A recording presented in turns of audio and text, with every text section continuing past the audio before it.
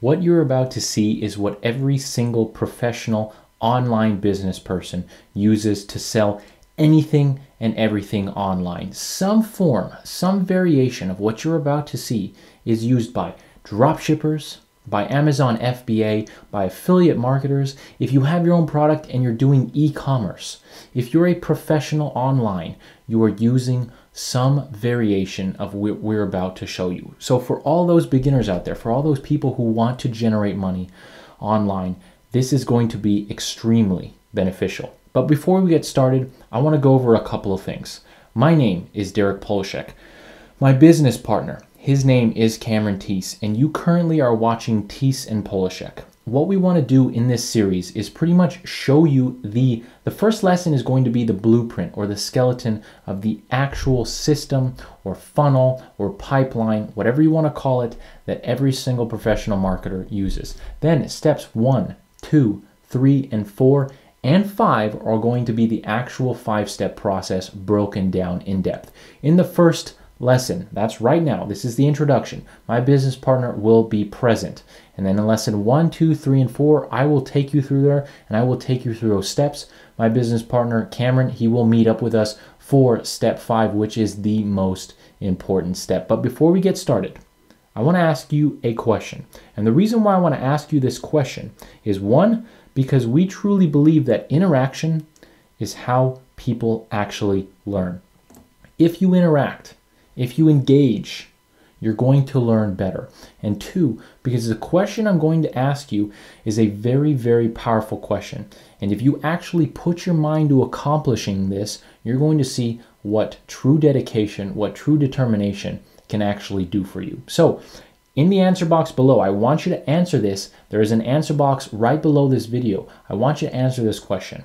If you had a business, an online business, how much income would you like to generate? How much income do you think you need in order to be financially free, to have time freedom and location freedom, to do what you want when you want?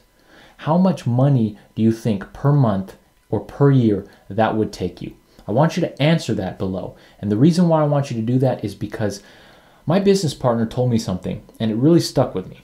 He said that the difference between successful people and unsuccessful people, the only difference is that successful people know how to close the gap.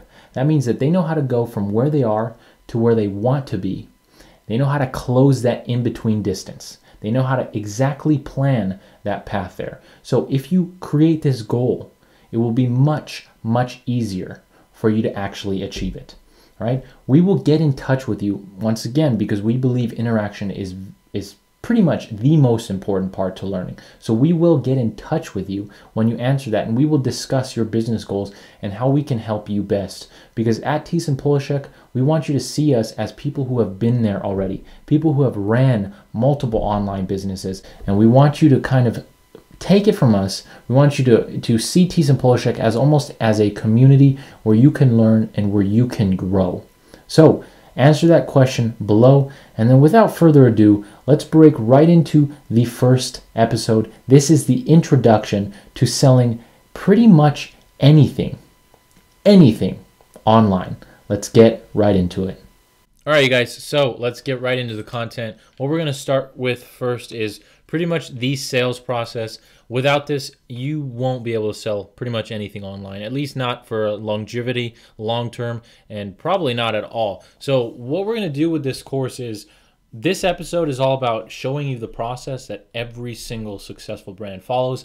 And then in the following episodes, we're going to actually break down the steps one by one. So, you ready to go, Cameron? Cameron's ready to go. All right, let's get into it. So, what about direct linking? Well, what is direct linking? Yeah, so let's talk about it. So something very popular right now, is I'm sure the majority of you guys are aware, is drop shipping. Um, so one thing, a very popular strategy with drop shipping is running social media ads that run directly to a sales page and just say buy our product. Yeah. So pretty much this is kind of like the go-to in Shopify. I think this is also why so many people were drawn to Shopify just because it used to be easy and i think there are still re- or still times when you can direct link but it's getting more and more difficult because as more people enter the shopify niche uh, you know it gets it gets more and more difficult to compete. And really, some like the more more established niches like internet marketing, like affiliate marketing, it's pretty much impossible to direct link now because there are so much there's so much competition. So uh, Shopify is going that direction but in reality we want to we want to instill good habits first and foremost. So, yeah, so but i mean let's so let's talk about it. So at first it definitely worked especially with certain no, products. So let's talk about spinners.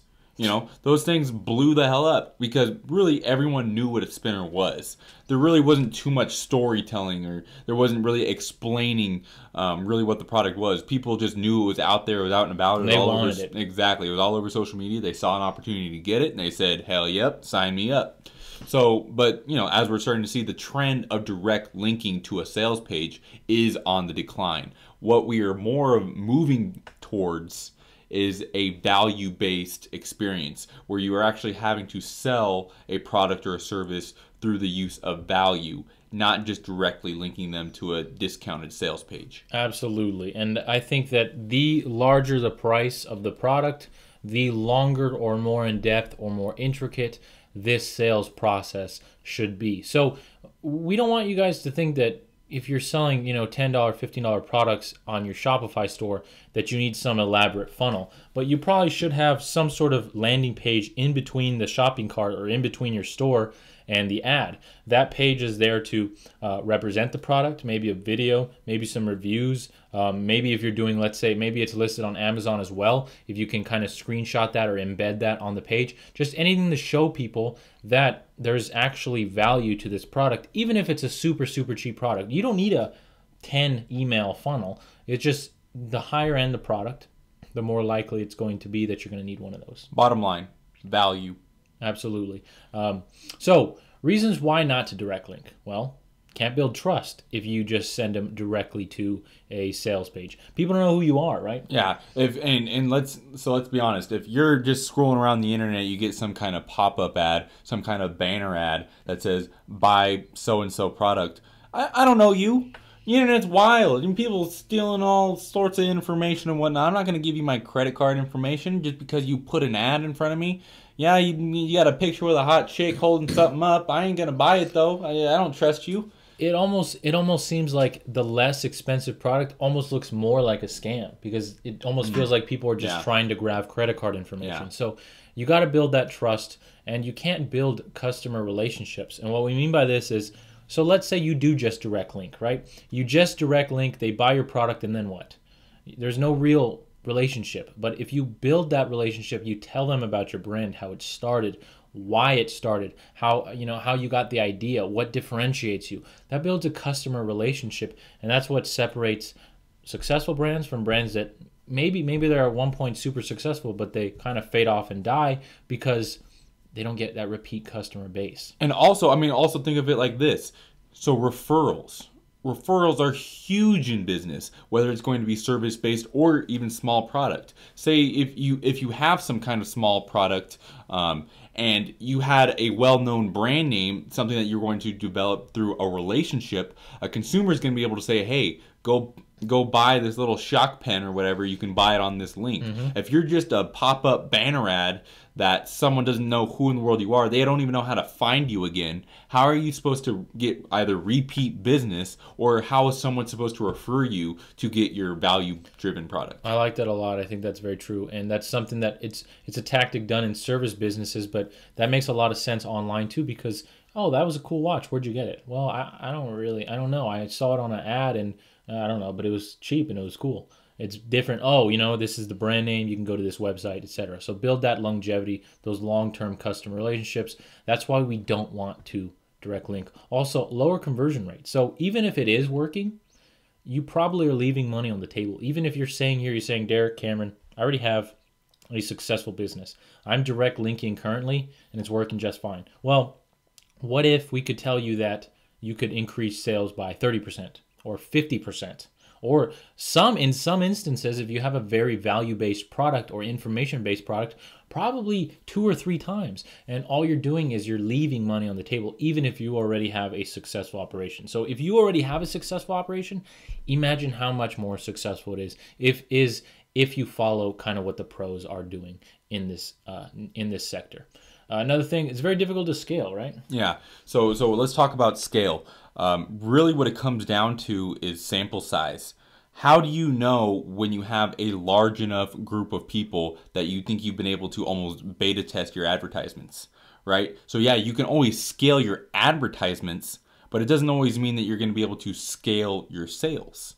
I, agree, and uh, I think that once again is because if you just direct link, you're never really growing a customer base or a following or a fan base or anything of that nature. Correct. And again, when you do have a sales process, you can monitor, okay, where, where in this system are people dropping off? Yeah. What part of the program it needs to be uh, better suited or enhanced? Where are people starting to fall off? Because if you just run an advertisement going over to a, a click link, you know, there, there's there's no really direction of where it can go wrong. It's got one of two places: either the advertisement's wrong or the landing page is wrong.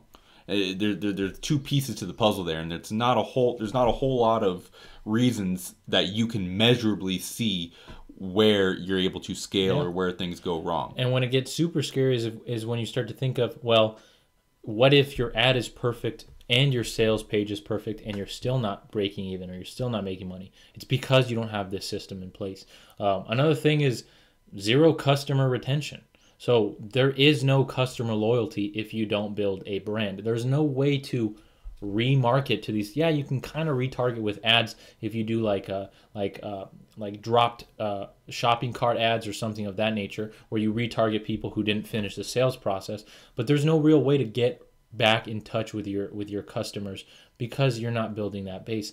And then every major company has some sort of process. Every major company follows a sales process, right? Every single company that has a brand Period. follows a sales process. You know, you, you can you can try and fight me on this and say, "Hey, Cameron, I went down and I bought a bottle of uh, or a tube of Colgate the other day to brush my teeth. They didn't have too much of a sales process." And I'd say, "Well, okay, let's break it down. What exactly happened? You recognize Colgate as a recognizable brand. You recognize that there is going to be some kind of system. Colgate didn't just come out the gate and just say, "Let's start selling toothpaste." No, they they they did some market uh, to market segmenting, market testing, Customer awareness, absolutely, where they building were a story, a brand behind it. correct, you know. And now, after they were already to, you know, now that they've built that customer relationship through advertisements, through retargeting people over and over again, it's a very recognizable game or very recognizable name where you're able to. Uh, you know, you've built a relationship with those people because your your parents have been buying Colgate for the past 16 years, and it's just this is what I buy now because this is what I grew up with. I just don't know anything else outside of this. It's there is a system to their sales. So, really, what we're saying here is it doesn't have to be a lengthy process, but it has to be a process. If you look at some of these toothpaste brands, even they build stories. Even they talk about transformations, how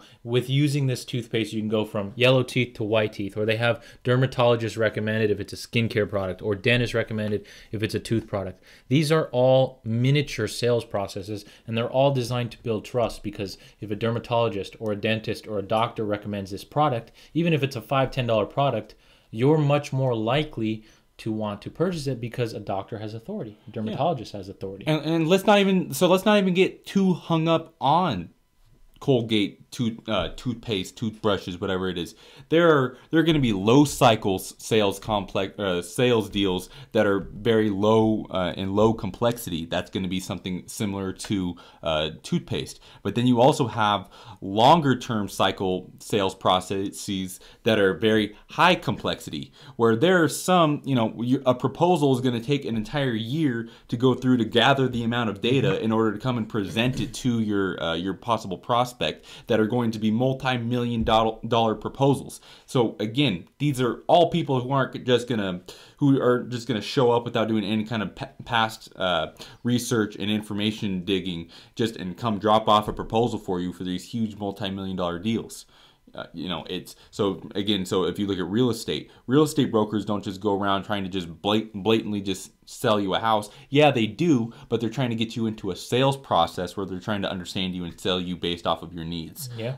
It's everything has a sales process. It's just going to come down to is it a low cycle, low complex deal, or is it a high cycle, high complex deal? Exactly, and I think Cameron said it best because it does follow that price point. You know, the law usually the higher end prices really it's going to take a longer sales process but they can both be very lucrative. You just got to find your niche and what you know what works for your business. So moving on to the concept of a pipeline. So this is where we start to actually dive into the sales process. A sales process very synonymous with a pipeline in this regard.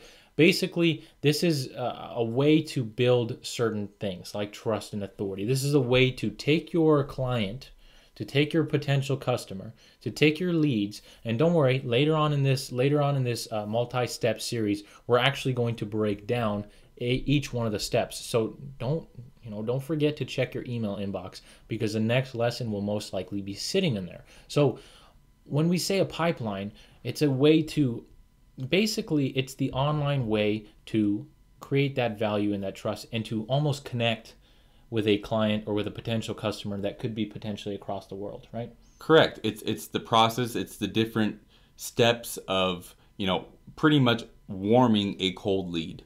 Yeah. It's about getting a consumer to go from I have no idea who this person is, I don't have interest for who you are, what you're selling, to grab their attention in order to warm them with some kind of value, build that trust and authority, you know, develop that customer relationship and then therefore get the get, create the sale. Exactly. So we want a pipeline to build trust and authority, nurture customer relationships.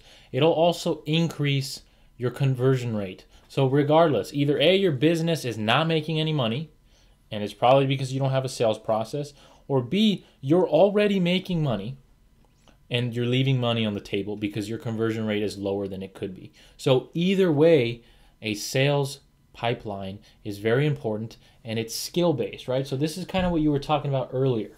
This is what this is what you were talking about earlier, where you said if you just have an ad and you just have a, a, a, sales page or a checkout page, there's nothing in between. But when you have a pipeline, it starts to become skill based, right? Dude, I I I love that you brought up skill based. It's just like anything else. If I'm gonna go and I'm gonna play basketball and I want to shoot free throws, I'm not gonna just go up there and just if you know game come game day having been playing basketball in the past six months i'm probably not going to do well. Going straight to game day those are your direct linking. Because you know less skill based it's just hoping and praying that you know hope this works. But when you enter a more skill based repetition based analytical scalable sort of skill based program such as a pipeline that is how you get the higher conversion rates because you're able to uh, directly test and more approach it from a systematic scientific approach. And I, we don't want to scare you here. We're not saying that you have to be some sort of rocket scientist. These are skills that can be taught and they will be taught. So they're not they're not something that is just you don't have to be able to put together a rocket or be able to take us to the moon. You just need a certain skill set that can be taught and that you can repeat over and over, which turns it into a numbers game. This makes it easy to scale because you can tweak. And this is kind of where we start to get into everybody talks about passive income online, right? Mm. This is where you start to realize the potential of passive income because you can you can almost say this many leads in, this many sales out. Yeah, yeah, exactly. It's don't you can't get scared because it's a scientific process. You can't get scared because it is skill based. Think, oh, well, I don't have the skills anyone can learn these skills. Anyone who has a desire or a will to learn has the ability to begin creating sales online. It is a step based product or step based process program that anyone can get anyone can get better at who is willing to put in the work, who is willing to learn the tricks of the trade. It's just like anything else. It's just it's the same process of learning something new that you've never learned before. But as long as you are given the skills, you are aware of what they are, and you know how to better them, you're going to be able to develop these skills and actually begin selling and making money. And like Derek mentioned, perhaps even passive income online. Precisely. Now we don't want you also to think this is not this is not for the get rich quick scheme kind of people. This is going to take work. It's going to take a little bit of effort, but it's nothing crazy. It's just that most people don't reach this level because most people are unwilling to put in the little bit of amount of hard work that it takes. So if you can put in a couple hours a day, before you know it, you're going to have a business that can potentially really generate you money in the background. Um, another reason why a pipeline is important is because of your customer retention. So when you start to when you start to take people through a pipeline, not only do you get to sell to these people, but you also get to build relationships with these people. You can send them off to other places to follow you. So if your brand has a page on Facebook, on Instagram, on YouTube, on Twitter, all these different places, you can send people off there and you can start to build that audience or that base every time you release a new product. Every time your brand releases, uh, let's say you sell backpacks, right? Rugged outdoor backpacks. Anytime your product improves, now it's waterproof, now it has a solar panel charger, whatever. Now you have a group of dedicated individuals who have gone through your funnel. They know and they trust you. Well, if you do the funnel right, and that's another big thing. If you half ass a funnel or you don't know what you're doing, it's not going to work. But if you have a funnel that's properly put together, now you have a base of people who can pretty much like your product and potentially purchase your product over many many months or even years because it's a it's a very specified niche. So you have that high high customer retention rate. Yeah, so let's so let's just put it to bed. High customer retention rate, that's going to be synonymous with brand. Precisely. Precisely. And that brand is going to be represented by trust and authority. Precisely. So, when we talk about this pipeline, there's a few steps that we have to uh, kind of make sure and be aware of, and that is what we call the sales process. It is really about a five-step system, and this is where we start to. We're gonna we're gonna break it down a little bit here, but this is what each individual following lesson is going to be. So make sure to stick around. Make sure to put a little favorite next to our names on your Gmail because every single day you're going to receive one of these steps for free and you can watch these steps and you can start to figure out what the process is. So really, if you can master these five steps, you can really almost master online business in general. Absolutely. So I mean, if you are interested or, you know, we aren't clear on these steps, you know, we are going to touch on them right now, but again, to reiterate, we are going to have more in-depth videos coming to your inbox that are going to go more in depth and is going to cover in detail how to master these steps. And if you have any, you know, if you're super excited about this, you want to get very close to us, we are very interactive with the people who um, who are interested in learning more. Again, we we love to share. We love uh, to teach new information. So if you are, you know, eager to get going and are ahead of the game, you're super serious about creating money and learning skills online, uh, absolutely be sure to either return our uh, return our emails or find us on Instagram, Facebook, wherever wherever your heart may be. Yeah, we we pretty much we we like talking to you guys. So yeah, shoot us a DM. You know, shoot us a direct message. Get in touch with an e- with an email. You know, we will reply to you and we will get in touch with you because we're pretty friendly and we like to deliver value. So let's break down these steps just real quick. We'll wrap this one up and then just wait for that next lesson. Uh, it's probably probably lesson lesson one should be in your inbox relatively quickly and then once per day you're going to get some value based and value packed content so step one in the process is finding people who will give you money and what we mean by that this is really when we this is where we're talking about targeting right proper targeting proper ads really right yeah I, am sure a lot of people just read this and said oh these guys are freaking geniuses these guys figured it out Thank, thanks cameron and derek find people who will give you money no so really you know let, let, let's be honest here Let's just be mindful that whatever we're selling, it's going to be someone who's going to be interested in what we're selling. What is going to be the basis of selling anything? Well, it's going to be the basis of bartering. You know, human beings began trading before money became involved. What a transaction actually means if someone is more interested in your product, your service, than their actual money is Pay worth. attention to that, guys, because that's super important. It's it's so many people. People just think that people just give money, just throw money away as if it's unimportant. No, the money makes the world go round, and that is just how it is and how it will be. People are so money hungry, and they forget that money has a value. So that's super important to be keeping in mind. Just whatever your product or service is, is look, this is more important than money to someone. That, that's that's very powerful too. And I think that a lot of people don't understand that. They think, well, there's millions and millions of people on Facebook, billions really. Somebody's bound to give me money. Cameron, Cameron, usually Cameron, what he does is he draws a circle, right? And I'm gonna I'm gonna kind of touch on this because I think this rolls off perfectly from what you were just saying, right? So he draws a circle and he says this is your market, or this is the group of potential people, let's say in the United States, and of those people, and then he draws a, a, smaller circle inside and he says, of those people, this many people fit your, your niche, or this many people are interested in your niche. And then of those, a smaller portion are willing to actually spend money on that niche. And of that, even a smaller portion like your product. Because remember, there are competitors, or maybe they already purchased or something. So you have to understand only the people who like your product, who are in your niche, who are in your market, who are targetable, are going to actually be potential buyers. And then on top of that, then from that small amount of people, then you have to provide enough value or enough reason for them to literally take money, like Cameron said, literally take money out of their bank account and give it to you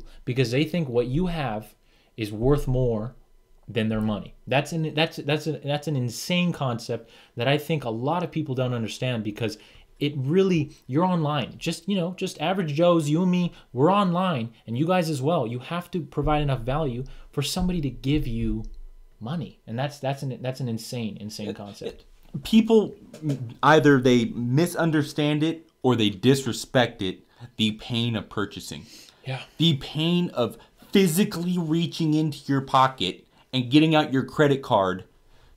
People aren't going to be excited to reach in yeah. their pocket and lose money you yeah. know, money represents time to a lot of people. Yeah. You know, some people just said, "Oh, you know, 500 bucks, this is 2 weeks worth of work or yeah. you know, like they money represents a person's life.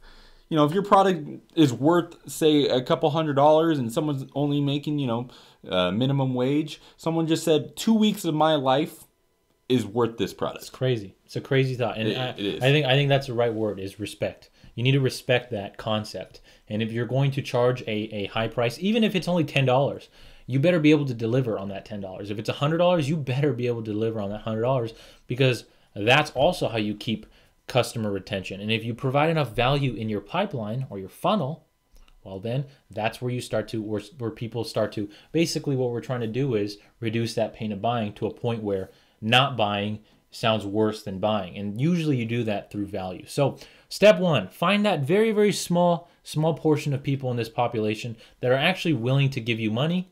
And then, then the rest of the steps are trying to convince that very, very small portion through through trust and through authority to you know hand you money. So really step 2 is building trust through value. So once we get the lead, whether that's through an opt-in page, whether that's through your YouTube channel, whether that's through a banner ad, whether that's through uh, you know free traffic sources, which we will touch on later on. So that's another thing. If you guys are saying, well, I can't really start a business because I, I, don't have enough money to run ads, or ads are expensive, and what if I mess up, and what if my ads don't return money? Well, later on, and that's why you guys need to watch out for those emails. Later on, we are going to touch on some free traffic sources that are extremely valuable, and at least at that point, you can use the free traffic sources to test your funnel. I would say at least experiment. Yeah, exactly. And, and then once you have something that works, scale up, right? You can get some serious numbers oh, for, yeah. for free traffic. Yeah.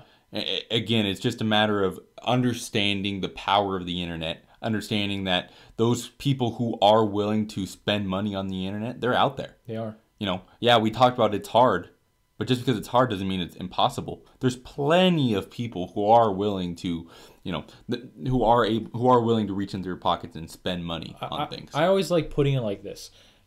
In life, really, in, in, in business especially, what's hard is learning, right? So getting there, breaking those boundaries, breaking through that that wall of resistance. That's what's difficult, and usually it's accomplished through good old hard work. Um, a good quality education works as well. But once you get past it, once you start to put the pieces together and you start to figure it all out, that that difficulty starts to diminish a little bit, and it starts to get easier. So don't think that you know it's it's you're up against the world for the rest of your life if you decide to do online business. No, at the beginning it's going to be hard it's going to be tough. You're going to have to put in hours. You know, it's going to be tough. But as you break through that, a month down, a couple months down, and you start to get in the groove of things. It could be quicker, depends on how much you know how much time you're willing to put. But the more time you put, you know, you start to get in the groove of things, and they do start to get easier. So don't think that you're up against the world for the rest of your life. It's just that beginning step, and and really we hope that that you know some of our content helps provide uh, the learning ne- needed to break through that. So step two, build trust through value. And then we move into step three, which is telling a story, right? This is super important for people. Being able to relate or being able to uh, to almost connect is very very important. And if you can get your audience to connect with you somehow, some way, they're going to feel closer to you even if they've never met you. They're going to feel like you care or like your brand cares and they're going to feel like they're connected. And this is why people wait hours every single time there's a new iPhone oh. because they're connected to the brand, right? So let's put uh, let's again let's just kind of put that in a nutshell. Let's just get straight to the point. Human beings, as human beings, as well as they are buyers, are emotional. Yeah. People are so heavily emotion driven that if you're able to encompass them into a good story, they'll spend money on it. You know, they, they either feel bad, they're excited, they're you know happy, sad, they're greedy, fearful, all all of the above. Yeah. There are so many different emotions that you can use in order to get money. So so again, you know, so let's let's talk about Disney. What I love Disney is honestly one of my favorite companies. I just love the way that the uh, the business model is set up. If you just look at the fundamental, so what is Disney's value point? They are they are so story driven.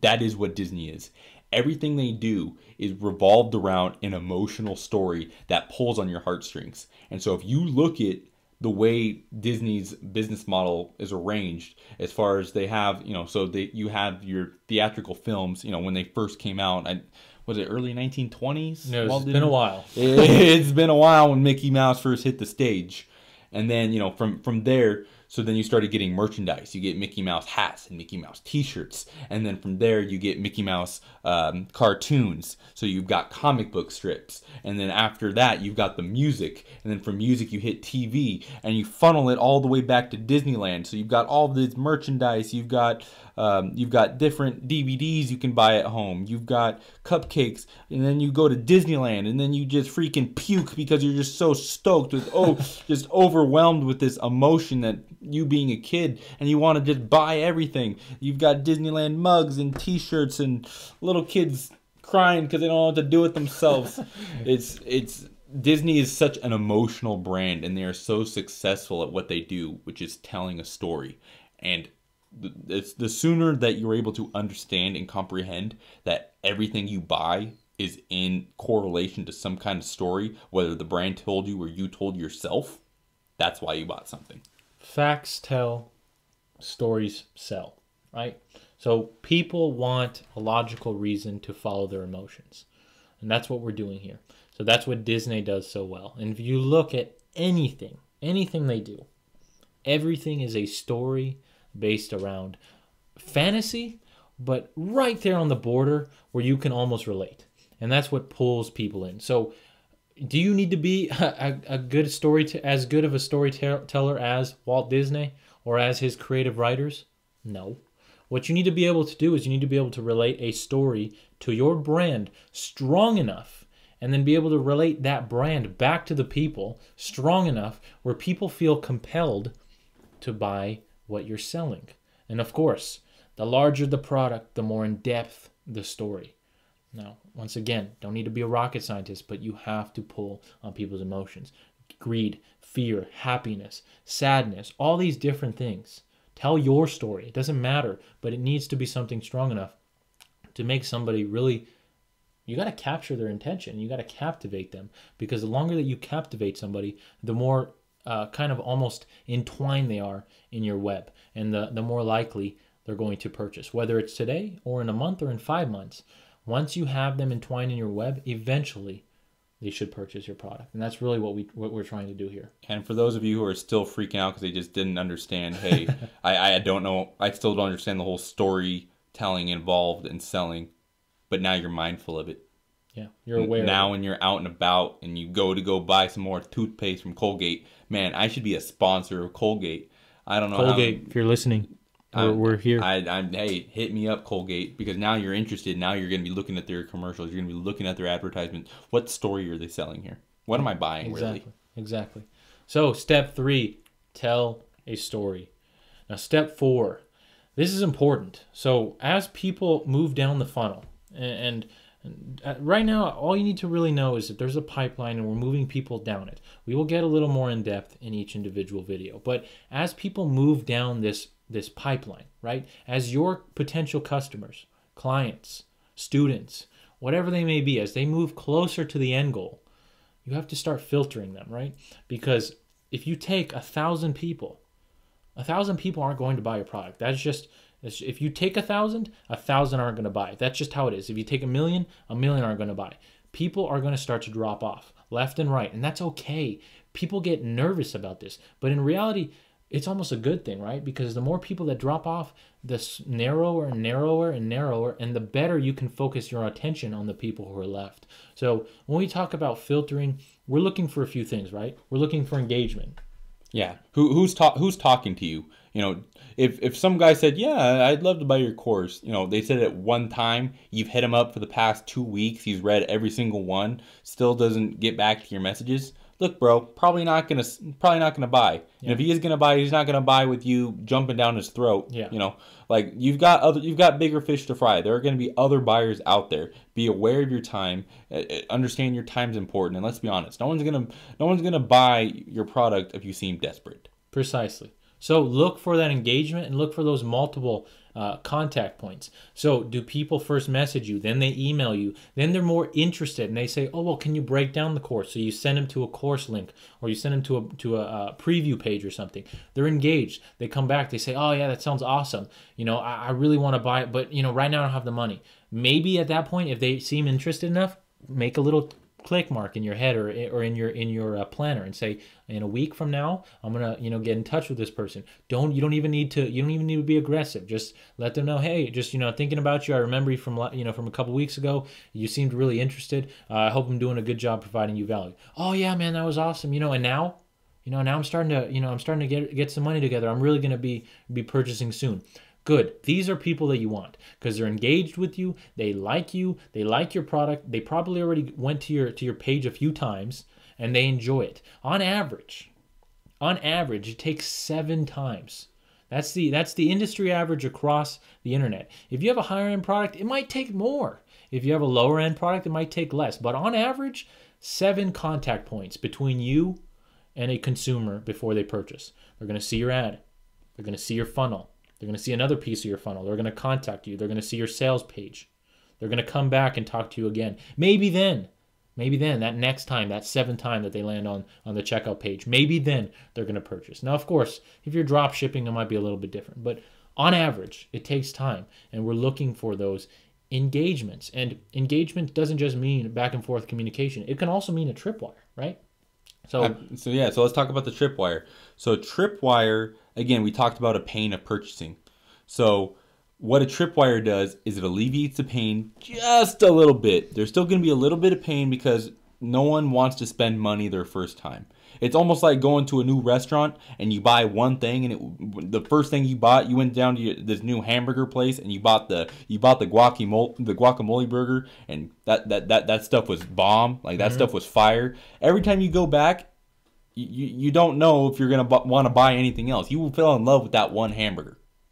Really, what the tripwire does is it allows you to get to relieve that pain of purchasing and allows you to upgrade and buy bigger products. So it keeps you it keeps your client from going to the next restaurant down the street and buying their guacamole burger. Pretty much it's a micro commitment, right? So people are already they're they've purchased, they like your product and they're more likely to purchase again. Just like at a restaurant, if I like if I like something at a restaurant, I'm more likely to bring my family back, bring my friends back because I'm entwined in their web. I already like their stuff. So a tripwire basically what this is is a low low priced and it's all relative. If you're selling $10 $10 uh $10 uh, handbags or $10 backpacks, Well, a, a tripwire might be a $2 scarf or something small that has the same branding that's a lot cheaper. It Might even be free. it might be free. Absolutely. Might be here, check out this free, uh, you know, because it is still micro commitment because they got to put in their shipping. They got to wait for it. That, those are commitments. If you're selling a super high end,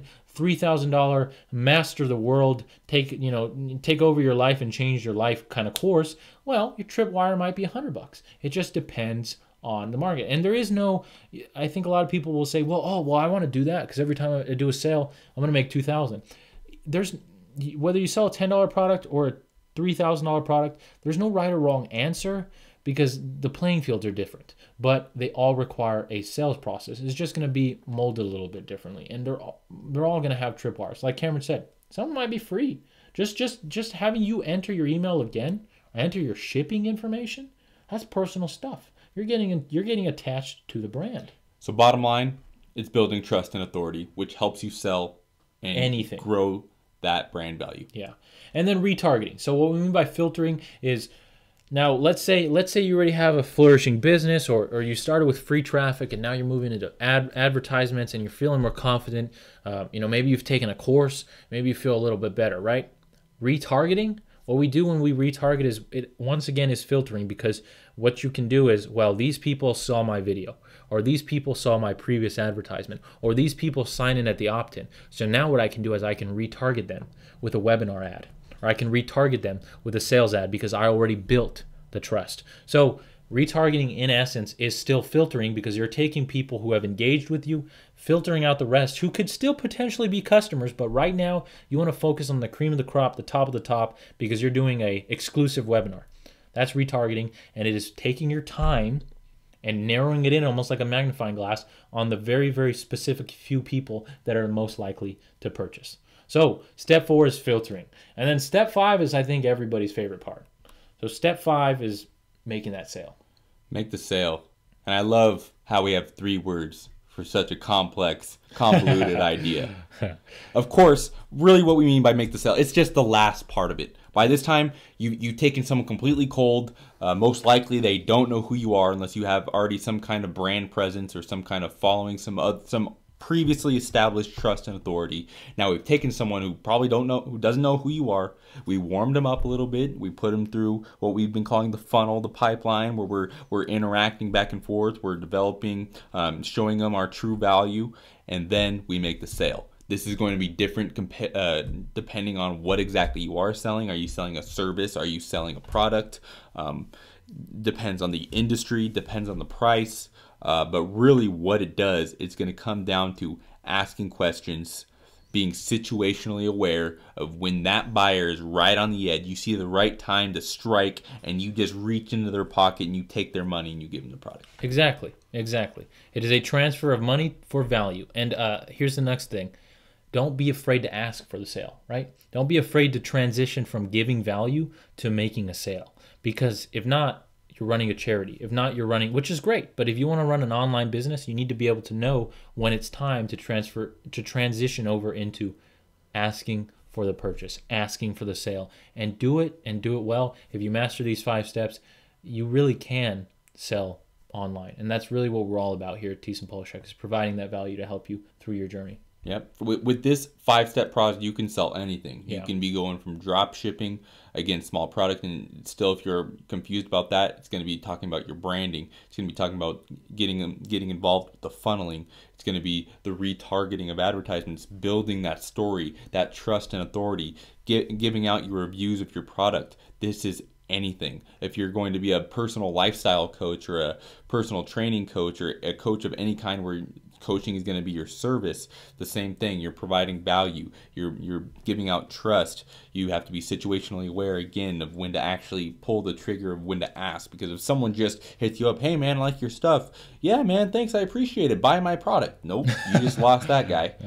So again this goes for anything across the board. Exactly. All right. Um, so the one thing that I'm gonna leave you with, well, a couple things. One, make sure to watch out for the next email. Lots of value. Two, right after the introduction, right before we got in that slides, we asked you a very specific question. Don't forget to answer that question. There's a box below. You can answer that question. We love interaction. So, if you missed that, go back to the beginning, watch the intro, listen carefully before we got into the slides. Listen carefully for that question and answer it. We like that interaction and we reward those who interact with us and who really, really give us that interaction because we want to focus our time, just like we're telling you to focus your time on those who care. We want to focus giving value to those who truly, truly want to learn. So, my name once again is Derek Polasek.